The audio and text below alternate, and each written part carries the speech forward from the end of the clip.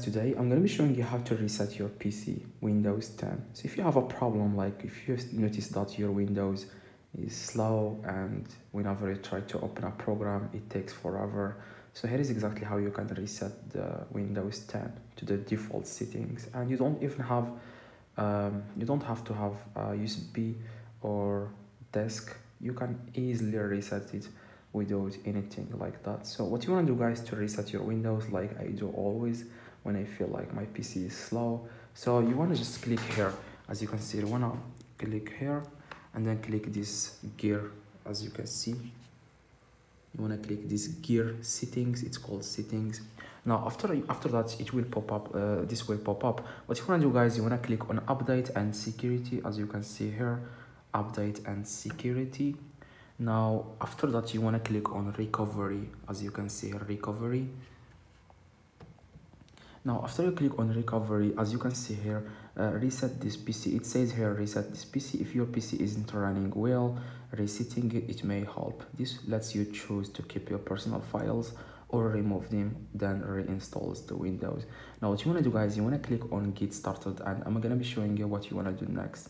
Now after you click on get started if you want to keep files like photos videos that you have already on your pc you just want to your windows to like to go to default settings that came when you first install it it will look like you you have installed it new like it, it will look everything will look uh, great like it won't be slow like like, like now.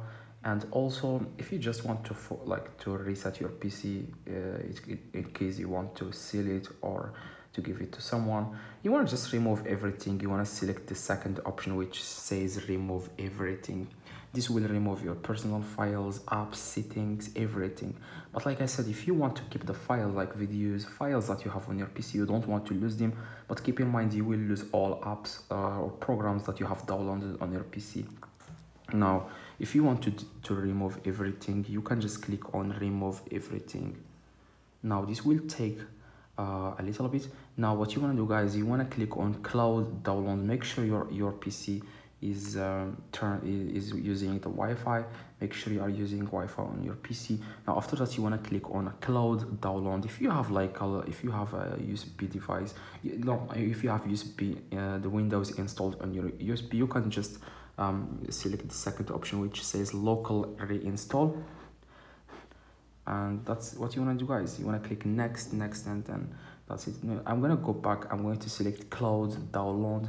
And as you can see here uh, it will remove when you click cloud uh, download it will remove apps and files and don't clean the drive download. It will make your pc like new. So um, make sure you have like um, Wi-Fi turned on on your PC after that you want to click on next. Like it says here this won't take long. You will just want to wait a few seconds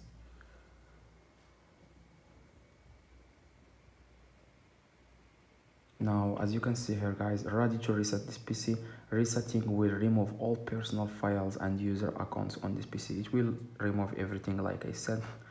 Now after you click on reset you will have to wait. Your pc is going to download the windows and then after that it will turn off by itself and turn on by itself. You just want to wait like an hour. It depends on your pc some pc uh, some laptops it takes only like uh, 30 minutes so hopefully guys this video helped you. If it does please drop a like. Like i said you want to just click a reset and wait um, a few like a few minutes and that's what you want that's all you need to do guys to reset your pc hopefully this video helped you. If it does please drop a like and subscribe. See you in the next video